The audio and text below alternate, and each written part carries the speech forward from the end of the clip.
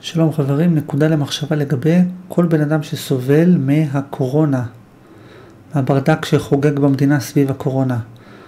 אז כל מי שלא מרוצה מההתנהלות הכלכלית של הממשלה בסיפור הקורונה, צריך לדעת שהדבר הזה זה עונש מאלוהים. כל הסבל שאנשים סובלים מהקורונה זה עונש מאלוהים, אני אסביר למה.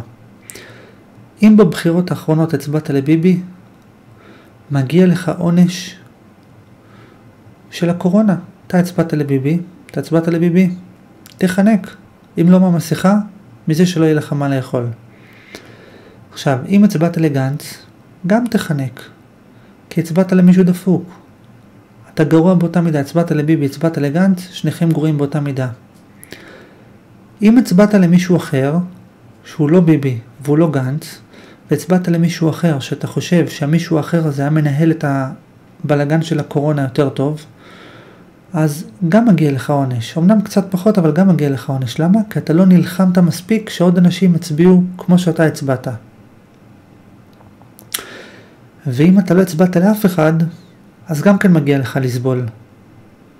וחלק גדול מהאנשים שמתלוננים, עכשיו בוא ניקח את כל האנשים שמתלוננים על הסיפור של הקורונה. כל האנשים שסובלים מזה, או שבבחירות האחרונות הם לא הצביעו, ואז מגיע להם לסבול, או שבבחירות האחרונות הם הצביעו ביבי ואז מגיע להם לסבול, או שבבחירות האחרונות הם הצביעו גנץ ואז מגיע להם לסבול, או שהם הצביעו למישהו אחר, ואז אמנם פחות מגיע להם לסבול, אבל מגיע להם לסבול על זה שהם לא נלחמו, שיותר אנשים הצביעו כמותם. הם היו שאננים מדי, אמרו מה אכפת לי, אני עושה את שלי, אני אצביע למישהו וזהו.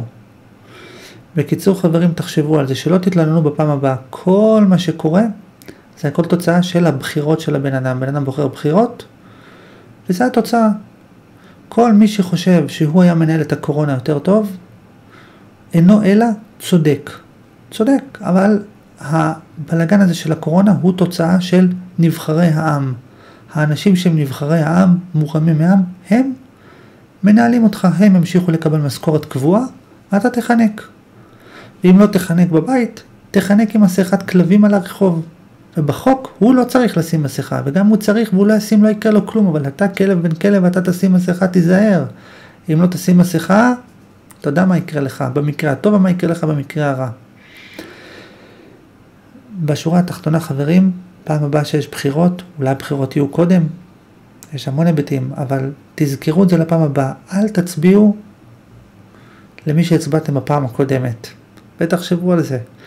מידע נוסף אפשר להיכנס לאתר, לכתוב בחירות, קורונה, מסכות הקורונה, השקר של הקורונה, איך לדעת למי לבחור בבחירות, למי להצביע, כל מה שעולה בדעתכם ולקבל מידע נוסף, ושיהיה בהצלחה.